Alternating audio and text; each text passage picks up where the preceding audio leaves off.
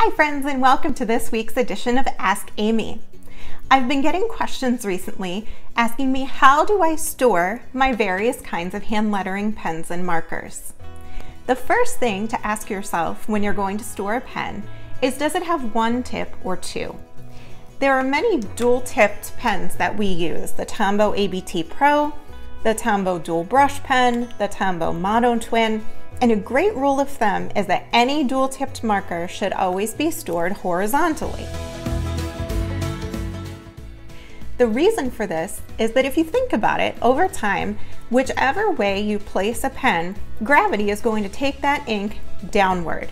So for example, if I store my ABT Pro pen vertically with the brush tip on the top, all of the ink is kind of going to settle and flow toward the chisel tip so it will be nice and juicy and ready to use, but my brush tip is going to dry out.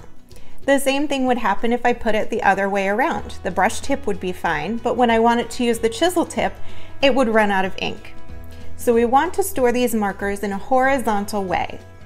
You can look for various types of organizers. Mine is the Tool Cubby from Create Room, the folks that make Dreambox you can look for any type of horizontal storage, including leaving the Tombow markers in their original packaging. For other markers, you can put them so that the tip is facing down and the ink flows down to that.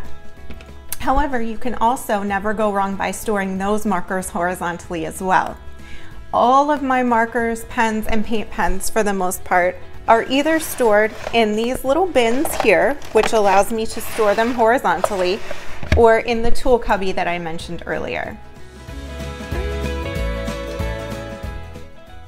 I hope this helps you to know how to best store your markers to prolong their life. The better care that you take of your markers, the longer you'll be able to create with them, and the more you'll love the way that your projects turn out. Happy creating, and don't forget, if you have a question, you can email it to me at amylattacreations at gmail.com. You can leave it in the Amy Latta and Friends Facebook group, or you can leave it on any of my social media accounts at Amy Latta Creations so that I can answer it in an upcoming episode. Make sure you don't forget to subscribe below so that you don't miss any upcoming videos. See you then!